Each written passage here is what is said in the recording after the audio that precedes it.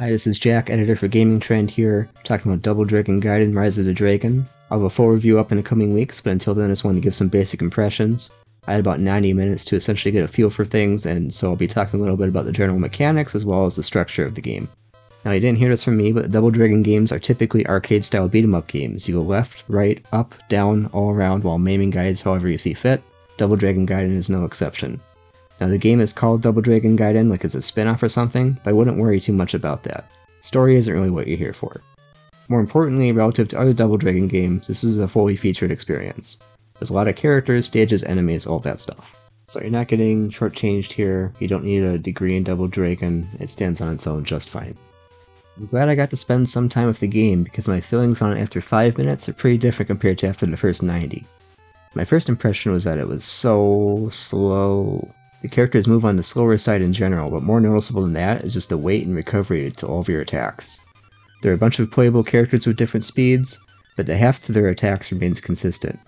When combined with the slow movement, this often unintentionally puts you into situations where you're just going to get hit in the face because it'll take your character a second or two to recover. To be clear, this isn't necessarily a bad thing. All beat 'em up games have this to some degree, that's part of what makes them interesting. Beat 'em up games often get a bad rap for being simple, but there is a strategy to them that makes them engaging. Spacing your attacks and defeating enemies without leaving yourself vulnerable tends to be the primary thing you're thinking about, beyond how cool it is just to press a button to beat someone up. In Double Dragon though, it's very noticeable, resulting in a bit of a learning curve. While the game feels slow, it has two main things to inject some life into it. One, there's a tag team system.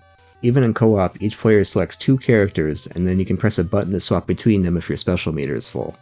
This gives you some different movesets to play around with to keep things interesting, but it also acts as a get out of jail card. If you mess up or leave yourself in a bad spot, with a tap of a button you can summon your tag partner to intercept enemies or break combos. It lessens the frustration a bit while also making the game more dynamic in how you approach situations. There's a bit of a risk to it too, because if you don't take at a good time, you can end up with both characters getting beaten down. The other result comes from how the game rewards you for doing well.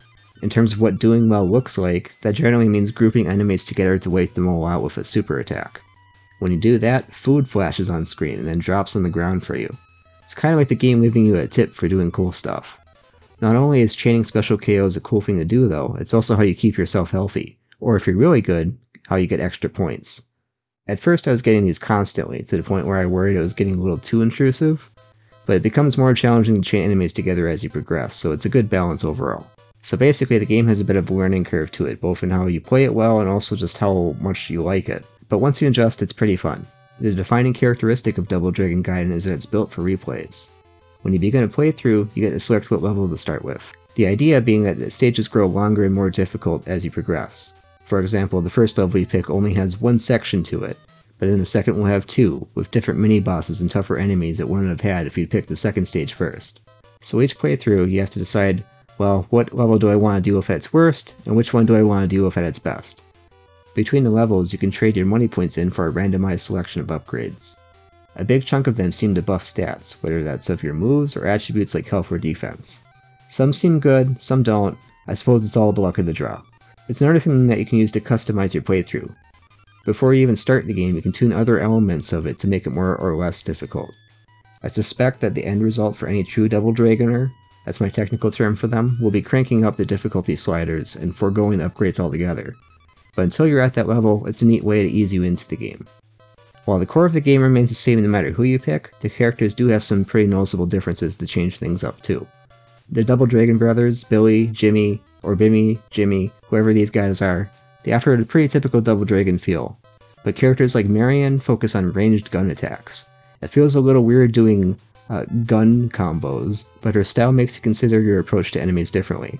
She's typically stuck in one place while attacking, but Bimmy and Jimmy have moves that let you fly across the screen or control crowds pretty easily. Everything in Double Dragon Gaiden feeds into itself. The better you score, the more points you trade for tokens that give you free revives or unlock things in an in-game store. The higher you set a difficulty, the more tokens you have the opportunity to get. The more unlocks you want, the more you need to replay the game. The more you play the game, the more opportunities you have to try your new stuff out. It's a sound system. Where or not it holds up, I'll leave for the full review. That's all for my little guide in about Double Dragon Gaiden for now, but rest assured I'll be back with the main story soon.